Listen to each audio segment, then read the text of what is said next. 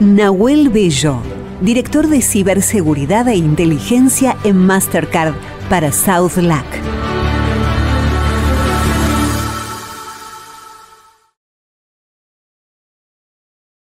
Ahí está, un poquito más por acá. Mira, te, hago hacer el trabajo. ¿Cómo andás? Bueno, gracias. Eh.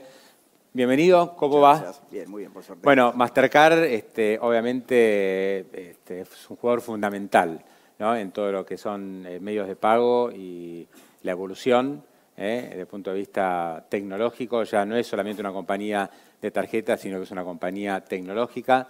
Eh, vamos a, pasar a la presentación. No sé si está, porque tenemos un problemita con esto, pero ya lo ah, vamos a hacer andar. A ver, préstamelo, Noel. Gracias. Un segundito, a ver. ¿Estás haciendo trabajar? Sí, sí, está. Están dando, a ver si lo podemos poner desde allí. ¿Sí? Y, ya lo hacemos este, funcionar. ¿Me avisan cuando está la presentación? ¿Sí? Porque no, aparentemente no, no, están dando el... Ahí está, perfecto. a partir de ahí sí. Bueno, Noel, gracias. Este, vamos a hablar un poquito de lo que está haciendo Master, sobre todo desde el punto de vista de empresa tecnológica, ¿no? que viene ayudando a bancos, a fintech, a todo el ecosistema de pagos. Adelante. Sí, a ver, un poco además de, ser una empresa tradicional de, medios de pago, hay muchas cosas que pasan por detrás. Y en, este, en esta oportunidad la idea es contarles todo lo que es vinculado con las experiencias del cliente, cómo inteligencia artificial detrás de la transacción empieza a tomar eh, mucho conocimiento para la gente y en función a eso empezar a incorporar nuevos conceptos de biometría, ¿no? Empezar a, y, aparece ya el concepto de inteligencia artificial generativa, estas cosas que son, eh, digamos, este, tan, tan, tan en boga en el mundo tecnológico y que también en pagos este, empieza a tener una preponderancia. Sí, a ver, y es algo que sucedió en, los últimos tiempos, ¿no? O sea, si nos vamos un poco a, la historia, y esto, venimos del mundo de, donde el ecosistema era un ecosistema inicial, donde conocíamos a los jugadores, teníamos solo emisores, adquirentes, eh, clientes y, comercios, estaba todo controlado, ¿no? El, mundo era pagos físicos y no había vulnerabilidades en ese sentido. Entonces, la experiencia estaba como controlada. Eh, hasta que en un momento empezó a aparecer el e-commerce y tuvimos muchas más puntos de control, mucha más inclusión financiera y clientes empezando a tener distintas experiencias. Y en esta expansión empezaron a haber determinados puntos de eh, contacto de riesgo y ahí es donde tuvimos que seguir evolucionando y transformándonos en términos de, tecnología y experiencia. Eh, ¿Quién no se, no se olvida de los ATMs o en los PBS que les hayan quizá copiado la, banda magnética y ahí es donde incorporamos la tecnología chip o, contactless. ¿no? Entonces, llegamos hoy al punto donde el ecosistema está completamente en evolución. ¿Y a qué me refiero con evolución? La explosión de datos, la velocidad con la cual está creciendo eh, el ecosistema. Nuevos jugadores, nuevos dispositivos. Hoy empiezan a haber N cantidad de puntos donde el cliente interactúa con sus medios de pago, ya sea desde una billetera virtual hasta empezar a incorporar en un auto sus credenciales para pagar la nafta dentro, del auto Y, no, y no hacer absolutamente nada. Entonces, es súper importante que todos estos datos que van a estar dando vueltas empecemos a tener conciencia de la protección y es acá donde Mastercard agrega mucho valor en términos de eh, seguridad y confianza para los clientes. ¿no?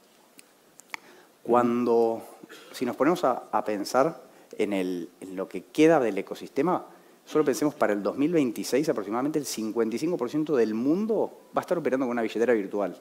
¿Qué significa? Va a haber auge del e-commerce, o sea, muchas de las transacciones van a pasar por el e-commerce y es acá donde empieza a haber un flujo de información súper importante. Para que se den una idea, en Mastercard por nuestros reales pasan por año 130 mil millones de transacciones. Si a cada transacción le asignamos que vienen 150 datos, imagínense la cantidad de información que podemos empezar a sacar conclusiones y es acá donde empieza a jugar inteligencia artificial respecto de, bueno, qué tengo que hacer para mejorar la experiencia de los clientes y no tampoco meter barreras o meterle fricción al momento del pago. ¿sí?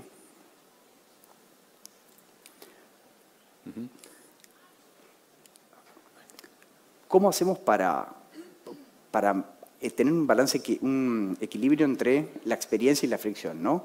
Eh, creo que es importante empezar a darle entidad a cada una de las cuentas. ¿Qué significa esto? Conocer a los clientes en función a sus comportamientos. Tenemos cuatro grandes conceptos, que el primero es conocer los dispositivos. Yo conozco cada una de las cuentas y sé Pablo de dónde opera. Pablo tiene un teléfono celular que opera desde esa billetera, tiene un auto que ya puso sus credenciales, opera en una suscripción o tiene su tablet y está operando desde Argentina o también hace compras en e-commerce en China porque es habitual en ese sentido. Lo importante es tenerlo identificado.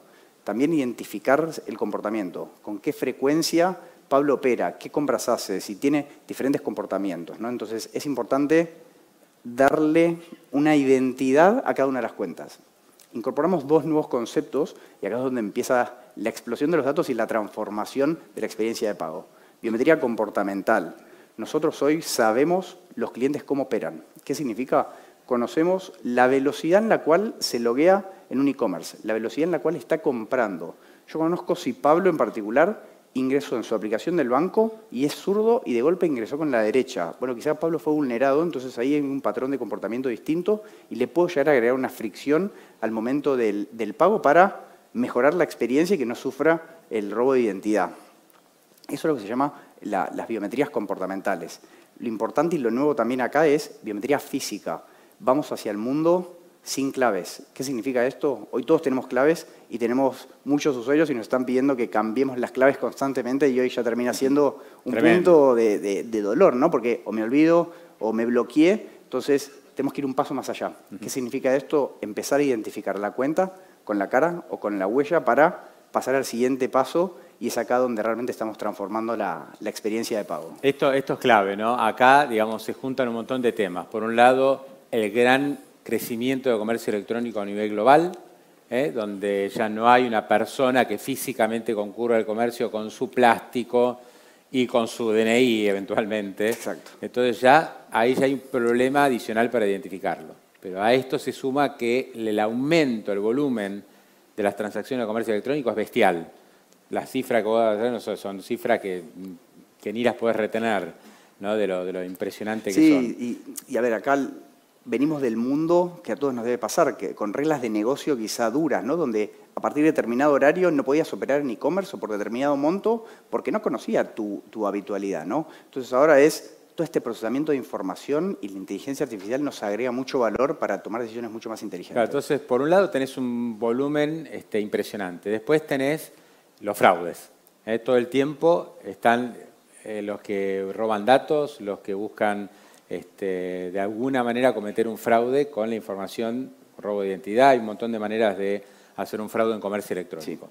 Entonces creo que estas dos cuestiones son las que ustedes están tratando de ver, bueno, ¿cómo hacemos para que la operación o la compra de comercio electrónico sea segura, eh, que no haya un fraude en el medio, eh, que no haya, que esto pasa todavía, mucha transacción que no se puede hacer, aunque vos sos la persona que la hace, y que la estás llevando adelante y que vos sabés que sos vos, pero que la operación finalmente no es aceptada.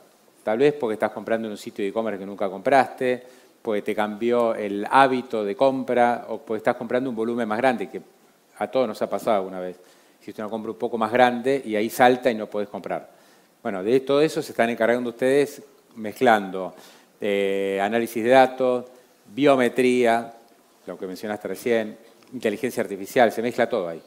Bien, acá nosotros lo, llamamos conectando inteligencia, ¿no? Digamos, ¿a qué, ¿a qué nos llamamos en particular? Tenemos como tres grandes hitos. Todo lo que hablamos antes de autenticación, empezar a darle una entidad al cliente. ¿Qué significa? Lo conozco, sé dónde opera, sus comportamientos y los dispositivos, ¿no? Y sus comportamientos de cara y, de, y, comportamental. Ya esto es un gran paso, ¿no? Tengo toda esta información. Bueno, ¿quién nos ayuda acá? Inteligencia artificial. Los la velocidad de procesamiento que inteligencia artificial nos está dando en los últimos tres años nos ayuda a tomar decisiones inteligentes. Esto que vos mencionabas, ¿quién no le ha pasado de querer operar eh, y hacer una compra y se la rechazaron? No solo la poca experiencia del cliente que no está pudiendo comprar, sino la emocionalidad que eso le termina generando y que tenemos que llamar por teléfono para probar una operación.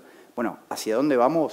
Que el cliente real time, digamos, tenga que validar con la cara la transacción y la pruebe. Todo esto va a pasar en milisegundos, que ahora vamos a ver el, ejemplo, y todo sucede por detrás, digo, hoy ya está sucediendo, ¿no? Y lo último que vemos es todo el enriquecimiento de la transacción. Estos modelos de inteligencia artificial, como suenan, no son modelos estáticos. Tienen que estar todo el tiempo mirando las, las variables, los comportamientos. ¿no? Entonces, entender al cliente desde sus experiencias, desde sus habitualidades y sus comportamientos mejoran la, experiencia end-to-end eh, y definitivamente le genera confianza al cliente el momento de pagar. ¿no? Entonces, si, vamos a un caso concreto, a ver si ahí me pasa, Eh, este es un caso típico donde está sucediendo que veo el cliente que se lo vio desde un dispositivo que ya lo conozco, y ahí arrojo un score que dice, ok, yo sé que es Pablo quien me está, quien me está operando, ¿no? De golpe es, bueno, ¿está operando desde Argentina o está operando quizás desde Perú? Bueno, yo conozco y acá todavía sigue siendo vital, no veo un punto de riesgo, lo dejo seguir pasando con la transacción, ¿no? Veo su comportamiento, cómo se lo vio, con la cara o con, la, o con sus manos y las velocidades que está operando. Hasta acá conozco al cliente y le dejo pasar la transacción, no le pongo ninguna fricción. De golpe estoy viendo que está operando en un comercio que pudo tener algún tipo de fraude. Y ahí el score está diciendo, ojo que acá la cuenta pudo haber sido vulnerada. Y otra más, le agrego el promedio de compra de ese comercio y el historial de ese cliente que yo conozco y definitivamente es acá la cuenta. es un poco las cosas que fui comentando también, ¿no? 100%. ¿Qué es lo que hago? No le rechazo la transacción, desafío al cliente le pido que valide la cara. En ese momento aparece, digamos, una, en pantalla, en el e-commerce aparece una, pantalla que dice, tenés siete minutos. ¿Cómo se produce la autenticación? Bueno, la autenticación, este es un claro ejemplo del el marketplace, estás en el checkout y al final de todo, cuando pones comprar, definitivamente te aparece que la, transacción tiene que ser autenticada. Te llega una push notification en tu aplicación bancaria, digamos, o fintech, ingresas, te va la transacción real time, levantas la cara y la transacción se aprobó y en ese momento el e-commerce funciona y aprueba la, la, transacción. La aprobación por cara, que es digamos, una manera hoy de acceder a tu teléfono. Exacto, este, con, tu cara accedes. ¿Esa es la autenticación que piden ustedes? Exacto. ¿O tienen otro sistema? En realidad es otro sistema que se guarda la información en el dispositivo mm. directamente, pero necesitamos un, un enrolamiento de Pablo para conocerlo y se agrega al final de la cadena la validación. ¿no? ¿Eso, ¿Eso ya está aplicado? ¿Esto ya existe? Eso ya funciona, o sea, ya, ya existe. De hecho, en Argentina lo vamos a ver, esperamos, en el, en el 2024. Ah. Así que estamos, estamos eh, evolucionando y transformando la, experiencia de pago. Definitivamente tenemos un, cambio cultural muy importante, ¿no? Porque va, es un desafío grande. ¿Hay que enrolarse a esto? O sea, eh, Mastercard te va a decir hace una vez este sí te vas a enrolar a través de, la aplicación de la aplicación de tu entidad donde tengas la tarjeta te van a empezar a llegar las notificaciones ah. para que por única vez te levantes la cara y después va, a medida que empieces a operar en e-commerce vas a empezar a ver en el checkout, esta transacción necesita ser autenticada. Yo no lo vi nunca todavía esto, ¿eh? Ya va, en, Europa, en Europa funciona, en países vecinos también ya, ya funciona. Acá tenemos un gran desafío para, para implementarlo y esperamos este año ya. Es, es, una tormenta de inteligencia artificial, biometría, análisis de datos, se mete todo junto ahí. Exacto, y en, en estos milisegundos funciona. Inteligencia artificial toma decisiones para mejorar la experiencia, quitarle fricción a la experiencia y, introducir la, biometría facial como medio de pago. Apasionante. En la vuelta hago la última. Eh, Mastercard, digamos, fue incorporando todas estas herramientas, hay un trabajo propio y además fueron adquiriendo empresas para hacerlo, ¿no? Mucho de todo esto que contamos, los motores de inteligencia artificial, una de las empresas que adquirimos es Brighterion, que genera los modelos tanto para los adquirentes o mismo para los emisores, o también genera modelos de inteligencia artificial en el sistema de salud, ¿sí? con los contracargos mismos del sistema de salud. Es como que cada modelo o gran cantidad de información se puede generar un modelo en particular.